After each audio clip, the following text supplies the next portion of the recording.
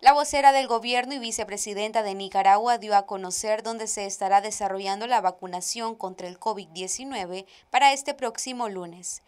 El lunes 10, en el Hospital Alemán Nicaragüense, esta es la vacunación voluntaria contra el COVID-19.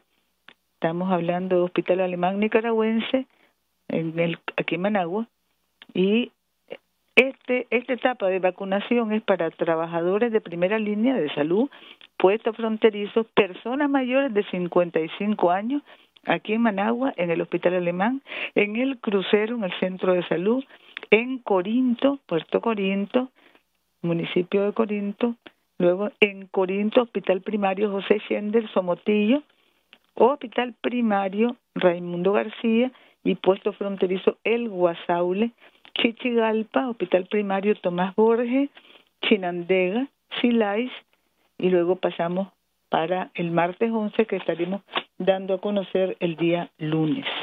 Además, en temas de salud, anunció una nueva jornada de vacunación que se estará aplicando de forma simultánea contra la influenza, que va dirigida a personas mayores de 50 años y crónicas, como también a mujeres embarazadas. Grandes, grandes noticias. Tenemos ya el lanzamiento de la campaña de vacunación de influenza del 10, que es el lunes, al 20 de mayo, 190 mil, casi 200 mil personas adultas con enfermedades crónicas, estamos hablando de personas de 50 años y más, hermanas embarazadas, personal de salud, estarán vacunándose contra la influenza. Del lunes 10 a las 10 de la mañana empezamos o el lanzamiento se da, lanzamiento nacional en Estelí, en el Parque de la Familia y de la Comunidad, en el municipio de Estelí, y los lanzamientos simultáneos en todo el país.